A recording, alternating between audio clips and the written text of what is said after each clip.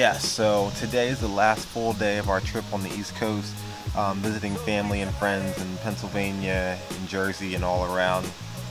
Um, I want to thank Will for letting me borrow his car for the week. That was great. Was able to get us everywhere we needed to go. Um, I'm gonna go visit Rich because he lives down the street from my parents, where I'm at right now.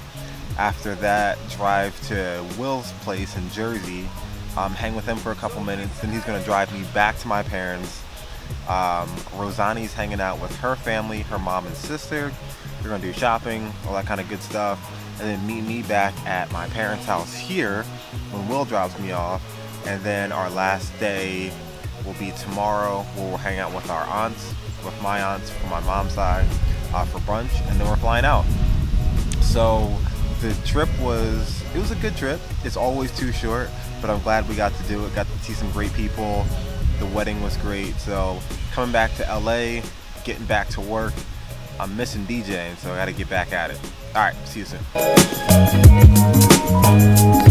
So we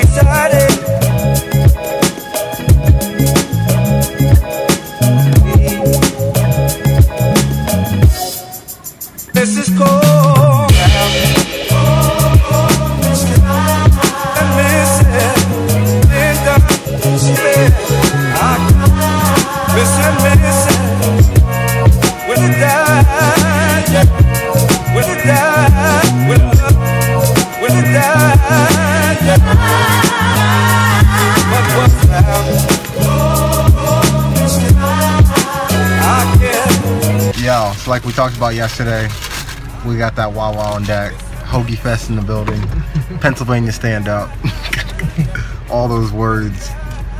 If you like Sheetz, sit down. Mm-hmm. We're not talking to you right now. Yeah.